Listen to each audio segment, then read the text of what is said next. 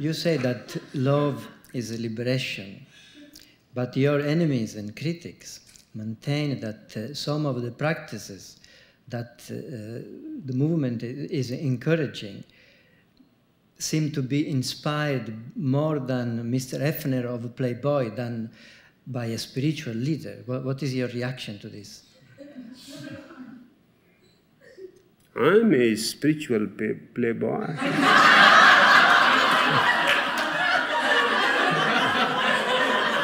Is there something wrong?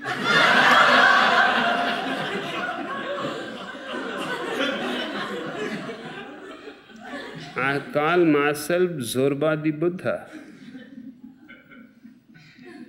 And that's my whole life effort to bring Zorba and Buddha closer. I don't want the dichotomy of the spiritual and the material. I want the spiritual and the material as one whole. They are. The division creates an schizophrenic state in humanity. And all the religions are criminals in that sense. They have created a split in man. Your body is separate, your soul is separate. You have to fight with the body, you have to remain celibate, you have to fast, you have to torture the body. The more you torture, the more spiritual you are. To me, this is simply garbage, just nonsense. There is no need to torture the body. Because the body and the soul are not two things. Existence is one. Body is the visible soul, and the soul is the invisible body. But it is one mystery. Don't divide it and don't make a conflict between them. So when I say spiritual playboy, I am not just joking. That is my basic standpoint towards life.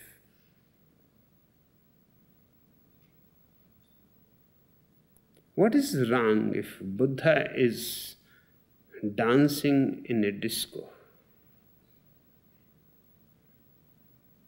It looks so beautiful. A beautiful girl. And why Buddha be afraid? Is not his meditation strong enough? That he will be pulled towards carnal lust? Is he afraid of falling back from his enlightenment? Then he is not enlightened at all. Because there is no way to fall back once you attain, you cannot fall back. It is your own inner being where you are going to fall back. Once you know it, you know it. Then, whatever you do, that knowledge is always there. Whatever you do, that fragrance follows you. And there is no act which is unspiritual. Even love making is not unspiritual. In fact, if love making is unspiritual, then every other act will be unspiritual. Love making should be the most spiritual act. It is so delicate, so soft.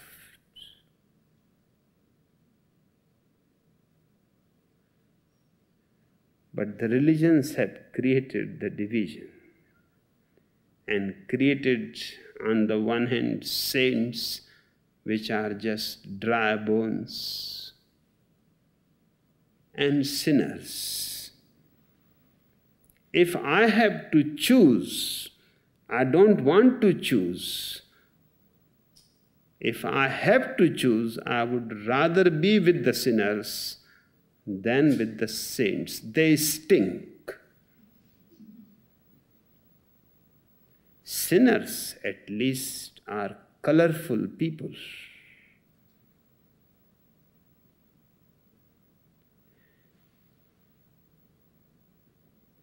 If all sinners go to hell,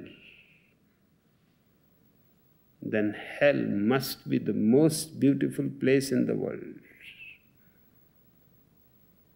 and heaven must be the most ugly. Because all those dead, dry bones, long faces will be sitting there eternally doing nothing. No entertainment no dance, no music, not even football match, no Olympics. Saints don't participate in such things. They can't drink, they can't smoke. What they can do?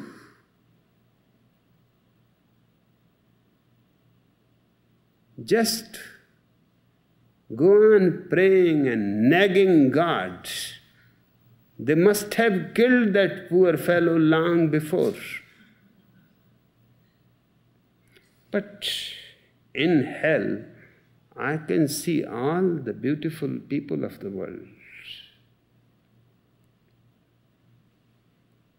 Lao Tzu will be there, Chuang will be there,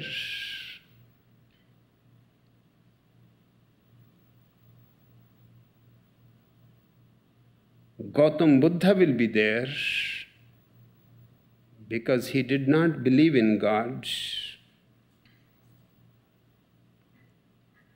He was an atheist. Bertrand Russell will be there. Socrates will be there. Plato and Aristotle and Heraclitus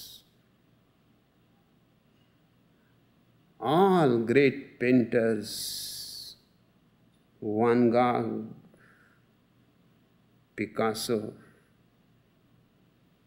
all great thinkers, Jean-Paul Sartre, Jaspers. Hell will be real company and very colorful. Umar Khayyam will be there. And all kinds of juicy people, the whole Hollywood, all actors, all actresses, all great showmen, all carnivals, circuses, hell must be from end to end a tremendous rejoicing. But I don't want to choose. I want them to mix. I want only one place where saints can become again alive, can start breathing, can start dancing, can start loving, can become spiritual playboys